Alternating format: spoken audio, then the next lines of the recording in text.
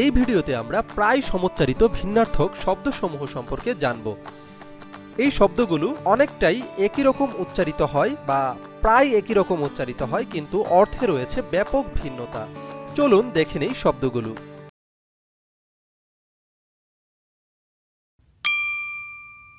অর্ঘ্য। এর অর্থ হচ্ছে পূজার উপকরণ। ঠিক একইভাবে অর্ঘ্য শব্দের অর্থ হচ্ছে মূল্য। প্রথম অর্ঘ্য যেটির অর্থ পূজার উপকরণ, সেটির সাথে রয়েছে একটি জফলা।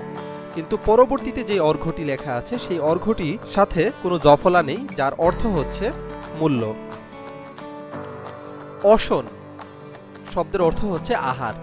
অসন শব্দের অর্থ হচ্ছে নিক্ষেপ। প্রথম অসন শব্দটি তালব্যস্য দিয়ে লেখা এবং পরবর্তীতে যে অসন শব্দটি রয়েছে, সেটি দন্তস্ব দিয়ে লেখা। প্রথম অসন শব্দটির অর্থ আহার এবং পরবর্তী অসন শব্দটির অর্থ হচ্ছে নিক্ষেপ। অনিল শব্দের অর্থ হচ্ছে বায়ু। একইভাবে অনিল এর অর্থ হচ্ছে যা নীল নয়। প্রথম অনিল রসইকার দিয়ে লেখা এবং পরবর্তী অনিল দীর্ঘ ইকার দিয়ে লেখা। অবিরাম শব্দের অর্থ হচ্ছে অবিশ্রান্ত। অভিরাম শব্দের অর্থ হচ্ছে সুন্দর। আদি শব্দের অর্থ হচ্ছে মূল এবং আধি শব্দের অর্থ হচ্ছে মনোকষ্ট। আভাস শব্দের অর্থ ভূমিকা এবং আভাস শব্দের অর্থ ইঙ্গিত। প্রথম আভাস যেটি, যার অর্থ ভূমিকা, সেটি মূর্ধন্য স দিয়ে লেখা হয়েছে এবং পরবর্তীতে যে আভাসটি রয়েছে, সেই আভাস শব্দটি দন্তস্ব দিয়ে লেখা এবং এটির অর্থ হচ্ছে ইঙ্গিত। আবরণ শব্দের অর্থ আচ্ছাদন এবং পরবর্তীতে যেই আভরণ শব্দটি রয়েছে, তার অর্থ হচ্ছে অলঙ্কার প্রথমটির উচ্চারণ হচ্ছে আবরণ এবং পরবর্তীটির উচ্চারণ হচ্ছে আভরণ। এখানে আমরা উচ্চারণের পার্থক্য দিয়েও মনে রাখতে পারি। আধার শব্দের অর্থ হচ্ছে পাত্র এবং আদার শব্দের অর্থ হচ্ছে আস্তাকুর। এখানেও উচ্চারণে কিছুটা পার্থক্য রয়েছে। ইতি শব্দের অর্থ হচ্ছে শেষ। এটি রস্যইকার দিয়ে লেখা এবং দীর্ঘই দিয়ে লেখা ইতি, এই শব্দটির অর্থ হচ্ছে কৃষিকর্মে বিঘ্ন। ঈশ শব্দের অর্থ হচ্ছে লাঙ্গলদণ্ড এবং ঈশ শব্দের অর্থ হচ্ছে ঈশ্বর। যে ঈশ শব্দটির অর্থ লাঙ্গলদণ্ড, সেই ঈশ মূর্ধন্য স দিয়ে লেখা এবং পরবর্তীতে যে ঈশ শব্দটি রয়েছে সেটি তালব্যস্য দিয়ে লেখা এবং এটির অর্থ হচ্ছে ঈশ্বর। উপাদান শব্দের অর্থ হচ্ছে উপকরণ এবং উপাধান শব্দের অর্থ হচ্ছে বালিশ। এখানে উচ্চারণগত পার্থক্য রয়েছে। উৎপত শব্দের অর্থ হচ্ছে পাখি এবং উৎপথ শব্দের অর্থ হচ্ছে কুপথ।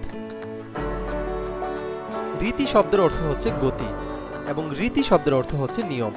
রীতি যেটি রি দিয়ে লেখা, তার অর্থ হচ্ছে গতি, এবং যেটি র দীর্ঘইকার দিয়ে লেখা, সেই রীতির অর্থ হচ্ছে নিয়ম।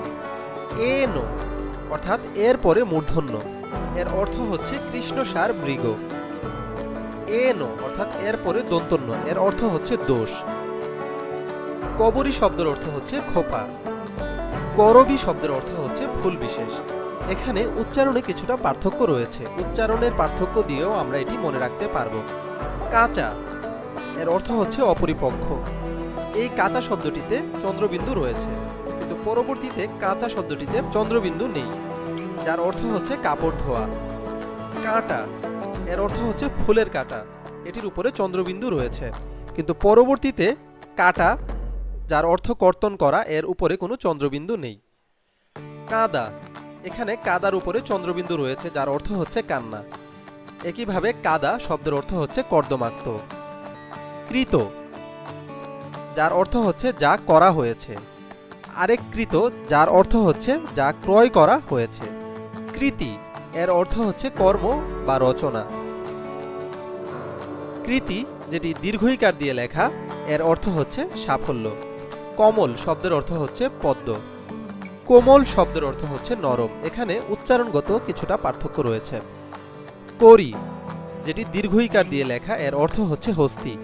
করি, যেটি রস্যইকার দিয়ে লেখা, এর অর্থ হচ্ছে আমি সম্পন্ন করি। কৃত্তিবাস শব্দের অর্থ হচ্ছে মহাদেব। কীর্তিবাস শব্দের অর্থ হচ্ছে যশস্বী। এখানেও উচ্চারণগত পার্থক্য রয়েছে। গাথা শব্দের অর্থ হচ্ছে কাহিনী। গাথা শব্দের অর্থ হচ্ছে একত্র করা। গুণ এর অর্থ হচ্ছে বৈশিষ্ট্য বা ধর্ম। এটি মূর্ধন্য দিয়ে লেখা। গুণ এর অর্থ হচ্ছে কাছি বা দড়ি। এটি দন্তন্য দিয়ে লেখা। গিরিশ, এর অর্থ হচ্ছে মহাদেব। গিরিশ, এর অর্থ হচ্ছে হিমালয়।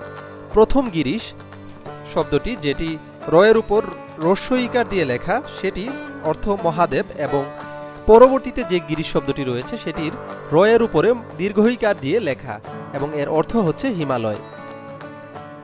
চাষ, শব্দের অর্থ হচ্ছে কৃষি, যেটি মূর্ধন্য স দিয়ে লেখা।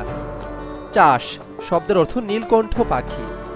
এটি দন্তস্ব দিয়ে লেখা। বন্ধুরা, এই ছিল বেশ কিছু গুরুত্বপূর্ণ সমুচ্চারিত ভিন্নার্থক শব্দ। কয়েকবার মনোযোগ দিয়ে এই ভিডিওটি দেখলে আমার ধারণা এই অংশে আপনারা অবশ্যই অবশ্যই ভালো করতে পারবেন। কারণ এই অংশ থেকে বিসিএস সহ বিভিন্ন চাকরি পরীক্ষায় প্রশ্ন হয়ে থাকে। আজ এই পর্যন্তই, ধন্যবাদ সবাইকে।